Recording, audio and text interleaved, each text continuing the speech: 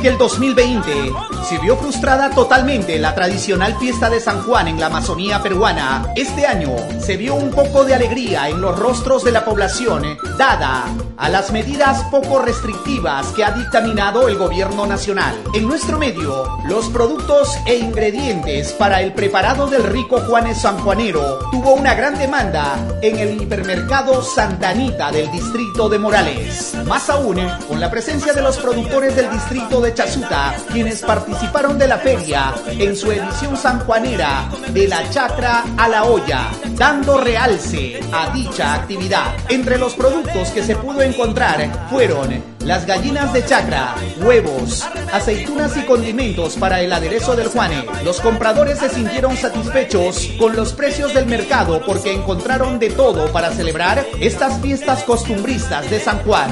Sí, claro. Cuéntame. Ahí estamos haciendo las compras para eh, hacernos pues. De aquí, de frente a la olla. Claro, mínimo, de frente a la olla para pelar. Bueno, ¿qué te, qué te parece la feria? Eh, importante, sí.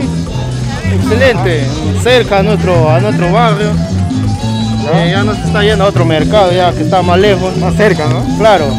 Usted vive por acá cerca, ¿no? Sí, cerca nomás por acá por el puente. ¿Qué otros ingredientes vas a comprar aquí en la feria? Eh, el gallo, el arroz, las aceitunas, eh, la hoja de bijao. ¿Todo encuentras acá en esta feria? Sí, todo. Bueno, ¿qué decirle a la población para que pueda... Eh, que se va acercándose, que eh, el mercado está interesante. A 2.50 y el extra eh, de 10 kilos a 30 soles. Y por kilos a, el conquista 2.50. ¿Es recomendado para, la, para preparar los Juanes? Sí, mayoristas somos. Bueno, ¿qué decirle a la población para que pueda llevar su rico arroz?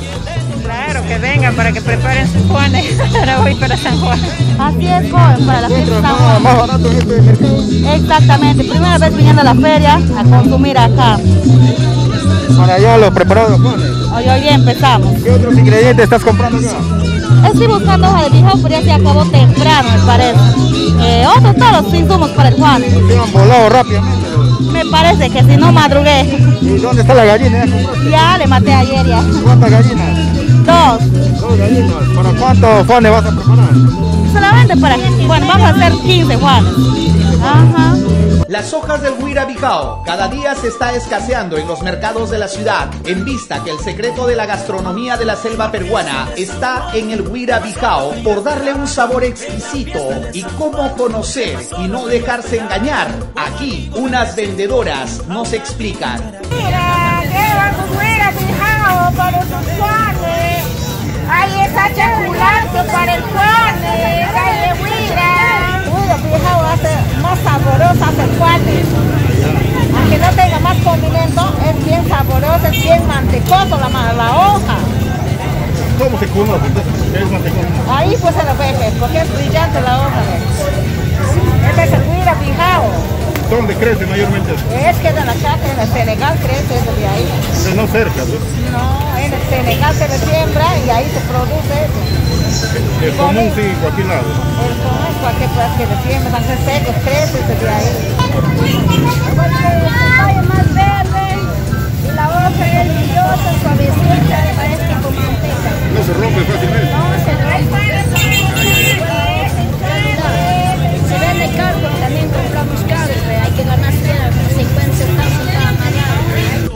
vendedor de hojas dijo que el Huira Bijao salió como pan caliente y que todo terminó desde tempranas horas cuando se ubicó en las afueras del mercado El Huequito, pero solo le sobró las hojas tradicionales del Bijao. Explicó que el precio se incrementa de dicha hoja y aún así las amas de casa lo compran.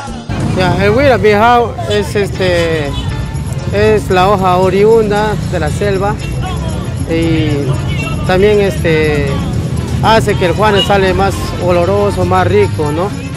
Más agradable. El neto de la selva, lo que es la Amazonía, de la huira bijao.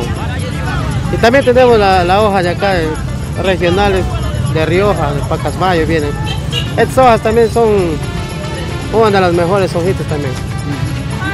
Ya como también hay hojas más este, naturales de acá, este Tarapoto, no son más este más accesibles para el negocio. ¿Cuál sale más? Eh, la, la bijao y esta hoja de acá. huira. La huira, ajá. Y hay gente que conoce de eso. Sí, hay gente que ya sabe, hay gente que no conoce también, no- ¿cómo se le va a engañar? No otros vendedores que quieran de repente sorprender a la... Sí, pues no, no se deje sorprender, acá tenemos hojas de cualquier modelo. ¿Cuánto más cuesta el huira viejao que el común? Ya, no cuesta más, es más 50 céntimos más nomás, la aumento. Las calles del barrio El Comercio de Tarapoto se han visto repletas de vendedores ambulantes a vísperas de las fiestas de San Juan, sobre todo aquellos que han venido de los poblados cercanos a vender sus productos.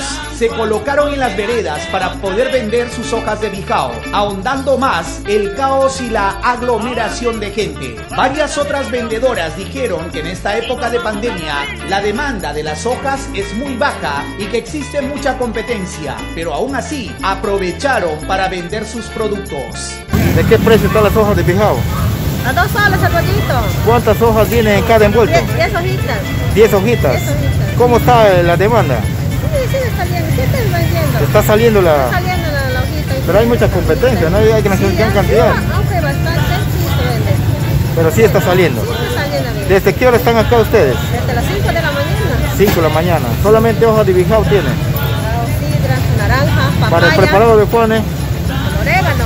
¿cuál es el orégano? ¿El de allá? Este es el orégano, ¿ves? Este es el orégano. Este también se lo pone al, al. Sí, se lo pone el Juan para ¿Y qué tal le, le da el sabor? Ay, qué rico. En todo esta, este tirón eh, tahuantinsuyo. Ahí está el orégano. Dicen que también es uno de los ingredientes para el Juanes. Acá también hay aceituna de todo precio. Señora, buscando las aceitunas para el preparado de Juanes. ¿De qué precio más eh, vas a llevar?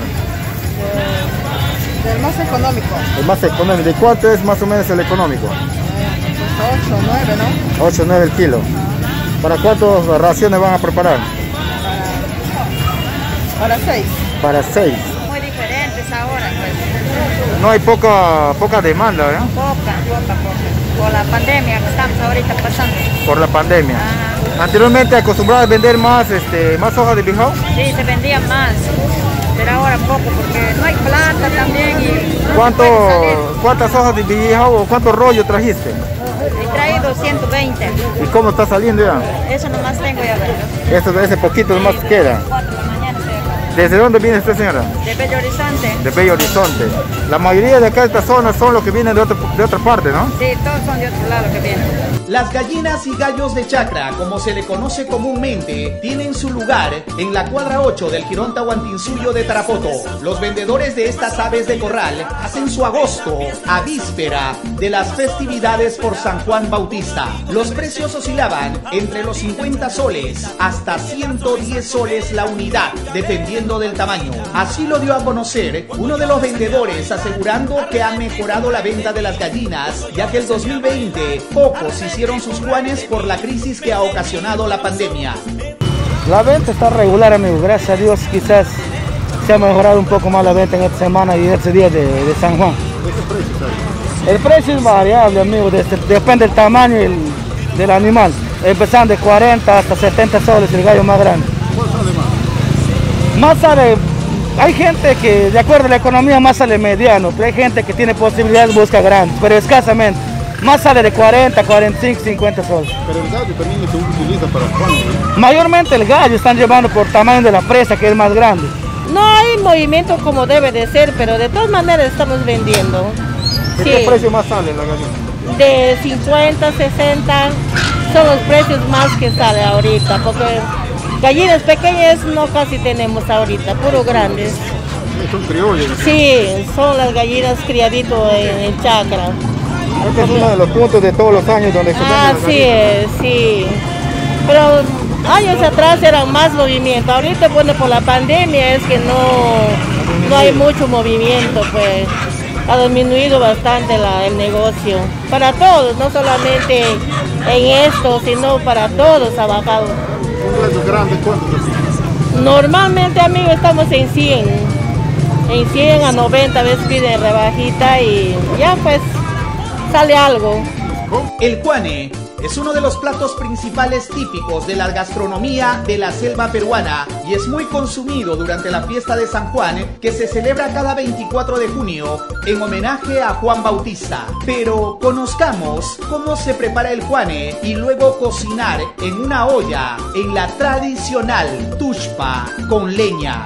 Las señoras Luisa Velasco de Paredes y Mariolit Juansi Payanace, ambas tienen sazones diferentes para el preparado del rico Juane, teniendo en cuenta que todas las amas de casa tienen su propia sazón y gusto para elaborar un delicioso Juane de San Juan. En primer lugar. De ahí se hace el aderezo y para cocinar a la gallina ahí se le pone. Los ingredientes ahí, pues ahí se le pone el aderezo el- el- la mistura. Comino su doña gusta sus ajos culantro menudo culantro ancho orégano ancho. Y allí Me imagino que tú tienes. ¿Cuál es tu secreto para que salga rico? todo lo que te estoy diciendo, los, los condimentos, todo lo que se le estoy diciendo, se le pone y Un secreto por ahí. ese es el secreto. Ese es el único secreto. Eso no es eso. Ajá. Ya, y luego de es el aderezo, ¿qué más sigue? Ya. Se, le- se le, se, le, se le hace bajar al- a, la, a la gallina, es cocinar, cocida, ¿ves? Se le hace enfriar el, último caldo que se dice. Ahí ya se le pone los huevos crudos, se lo, se lo bate un rato y cuando enfriar el arroz, lo se ajusta en, la, se va a preparar, ¿sí? se le va a mezclar, así ves, se le va a mezclar, ahí se, ahí se le mezcla el, huevo crudo, con todo, todo echado, todo, todo completo, todo se, que se lo envuelve, ya mira, estás mirando, ¿sí? se lo envuelve, ahí cocina el juan, o según ya uno lo que quiere, una hora, hora y media, quiera, ¿no? a la cantidad, ajá. La- eh, ¿Y qué cantidad de arroz se lo pone a, cada Juan? en, un, en, un, en dos cucharona- cucharonaditas, ve, así está ese tamaño. Así, ahí ya se le pone la fresa, su, su aceituna, no, según lo que se desee, ¿no? Uno quiere, ¿no? su mitad de huevo, un huevo entero, Al gusto. al de- gusto de la, del que está preparando. Ajá. Ahí estás mirando. Y sale bien rico. Ya, ya viene su, eh, ayudan acá. Sí, este señor ayudante. Si no, ¿cómo? agradecer a Dios por darnos un año más de vida para poder este, seguir este, con nuestra tradición de, de nuestra selva. Bueno, eh, cada uno tenemos nuestro, nuestra forma de preparar. Bueno, en el caso mío, hago mi arroz, todos los ingredientes echándole. Y después que está bueno el arroz, yo lo bato el huevo para que yo sé que para que pueda esponjar un poco más el, el arroz. Sí. Después que está batido ya todo el arroz, ya pues ya me pongo a envolver, le echo su aceituna, la gallina, un poquito de jugo de la aceituna y un poquito de jugo de acá del, del sazón de, sí, de las presas. Y, y así como te digo, todos tenemos nuestro, nuestro secreto, diferentes formas Para que sea rico el Juan. para que sea rico el fan. A ver, el secreto mío es este, echarle este, la, el culantro molido, este licuado digo, el culantro, el orégano, tanto el culantro ancho y el culantro menudo, y el orégano de hoja anchas. Es mi secreto, joven. Como te vuelvo a decir, todos tenemos diferentes formas de preparar el fan. Así les gusta, sí, así les gusta a mi familia, obviamente a mis hijos, a mi esposo y, y lo disgustamos todos en familia. Nos trasladamos al otro extremo de la provincia, el distrito de Chasuta, donde la tradición está enraizada, pero encontramos este panorama. Los motoristas que hacen ruta a distintos lugares del distrito de Chazuta ya van dos años consecutivos que están perjudicados por la pandemia y sobre todo en estas fechas de San Juan. A comparación de los años anteriores, la celebración de la fiesta de San Juan era diferente. Los turistas locales de Tarapoto, Chazuta, así como los nacionales y extranjeros, visitaban en gran cantidad para pasar la fiesta de San Juan a orillas del río Guayaga. Rodolfo Pizango Tapudima tiene dos botes motores que hacen ruta a distintos caseríos del Bajo Guayaga y nos cuenta que en esta época de pandemia se ha visto afectado porque hay poca demanda de los visitantes. Oye, amigo, pues, es diferente, diferentes amigos. Ahorita ya no es igual con los occidentes, pues. Es poco, todo es diferente, se cambió bastante. Hay poca demanda de pasajeros. Sí, pues hay poco, pues, hay poca ahorita y ya no es igual, todos los tomajan, tomajan, ya había poca la gente. Yo tengo dos bots, pues, y ya no hay mucho, pues, no se he venido. En la mañana me he ido y no, no hay tres bases y bien. Ese es tema por la pandemia, ¿no? Pandemia, con pandemia. O sea, dos años ya están este, así. A la vez, no, no, no hay nada, pues, amigo. No hay negocio. No hay negocio, está bajo, se bajó bastante. ¿Con cuántos pasajeros vas a bajar hoy día? 20, según, según lo que hay, pues, 10, 15 o 20, según. Ya poco la gente sale a pasar. Sí, poco sale, poco, no, poco sale, pues, ahorita. ¿Cuántos eh, boteros ustedes son acá afectados? Ah, ya, más que más de, más de 40 botes, miren. 40 botes. ¿saben lo ¿Para qué sectores se van ustedes? De todos lados, por todos lados se va, hasta Sinamí, Callaniaco, Ricardo Palma, se van, Juliac, Tupac, Tunum Silcay, Santa Rosa, todas esas vainas en la ruta. ¿En qué año eh, más o menos de la pandemia ustedes han, han pensado de repente dejar este rubro? Ah, Depende, no si a veces depende de, de- de la pandemia. No ese es el trabajo de nosotros, desde, desde, desde que empezamos, había puerto. Ese es el trabajo de nosotros, el voto. Nosotros, nosotros le dejamos eso. ¿Y ustedes eh, con las autoridades no les han dado algún apoyo para que ustedes...